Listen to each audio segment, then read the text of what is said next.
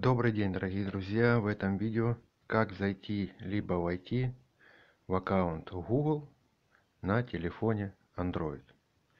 И для начала, чтобы туда зайти, вам понадобится сам аккаунт Google, то есть зарегистрироваться. Либо хотя бы почта Gmail должна у вас быть зарегистрированная.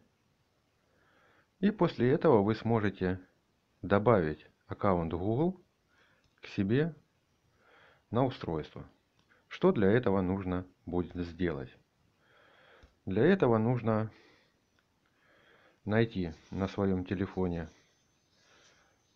настройки, то есть шестереночку, нажать на нее и перейти в разделы, где найти вкладку аккаунты, нажать на нее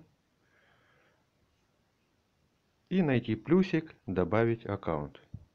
После того, как вы перейдете в вкладку «Добавьте аккаунт», вам нужно выбрать аккаунт Google. Выбираем аккаунт Google и после проверки нам нужно будет